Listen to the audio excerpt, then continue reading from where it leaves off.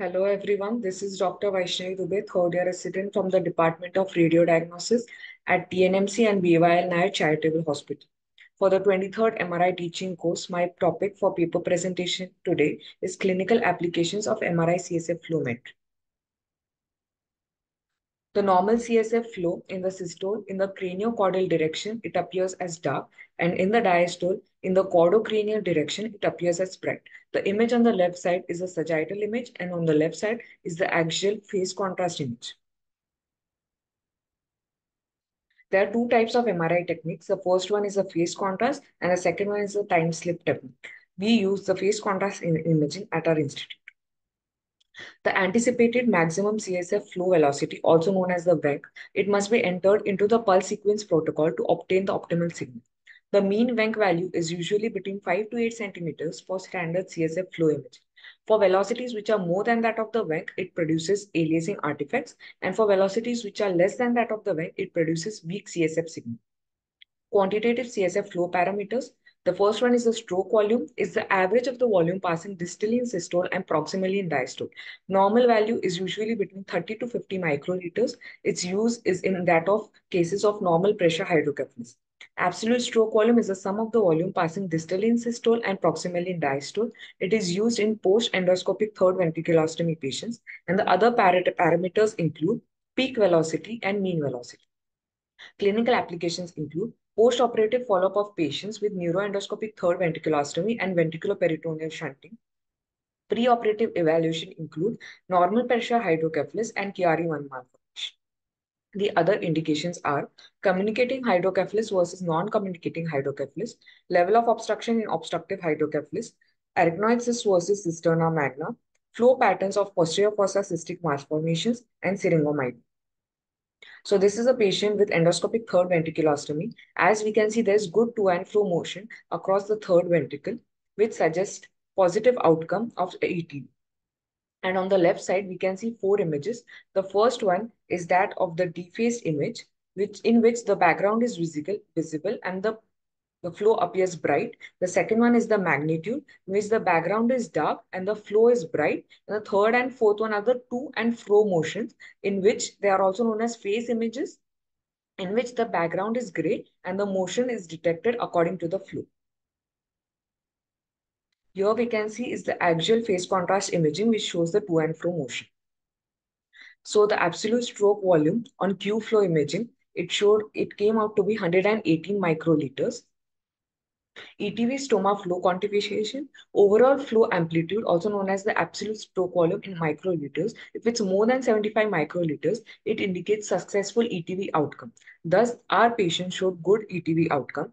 Classified into three categories, adequate flow, which is more than 75 microliters, low flow, 25 up to less than 75 microliters, and obstructed ETV stoma with impaired flow is less than 25 microliters.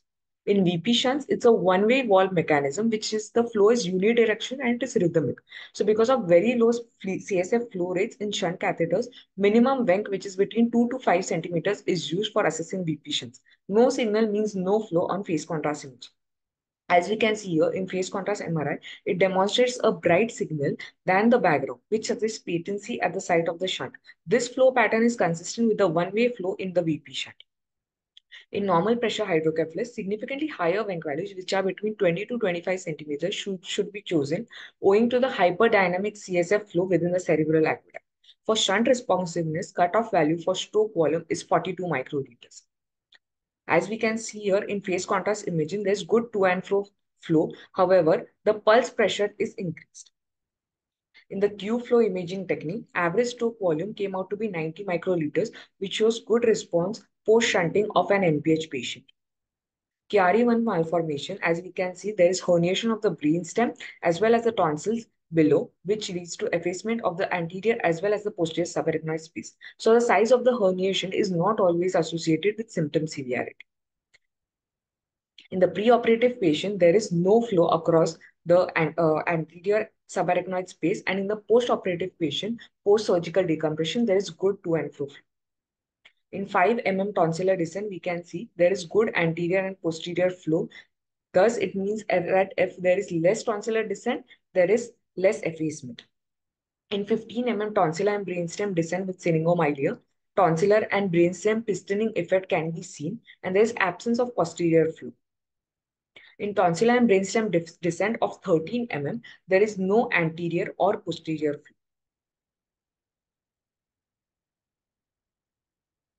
So the degree of CSF flow obstruction rather than the degree of tonsillar herniation can better select patients who are most responsive to surgery. In obstructive hydrocephalus due to aqueductal stenosis, there is no flow at the level of aqueduct in both sagittal as well as axial phase contrast imaging. Arachnoid cyst versus cisterna magna. Megacisterna magna, pulsatile CSF flow can be seen throughout the dilated cisterna magna. Whereas in communicating posterior fossa arachnoid cyst, pulsatile flow into the cyst at the level of cerebellomedullary junction is seen. However, the flow is not present throughout the cyst and it is different from that of megacisterna magna. Flow patterns of posterior fossa cystic malformations. In Dandy-Walker malformation, CSF flow MRI shows no communication between the cyst and posterior cervical subarachnoid space, and hyperdynamic CSF flow through the aqueduct into the cyst produces turbulent flow within the cyst. In syringomyelia, it detects altered flow inside the syrinx cavity. It is predictive of subsequent enlargement and helps discriminate it from a myelomalacia. And it provides a direct evaluation for the follow-up and the postoperative survey in patients with syringomyelic cyst. Teaching points. Phase contrast MRI is a primary non-invasive technique providing assessment of disruptions in the CSF compartment, both qualitatively as well as quantitatively. It plays a vital role in preoperative decision-making and postoperative follow-up of patients. Thank you very much.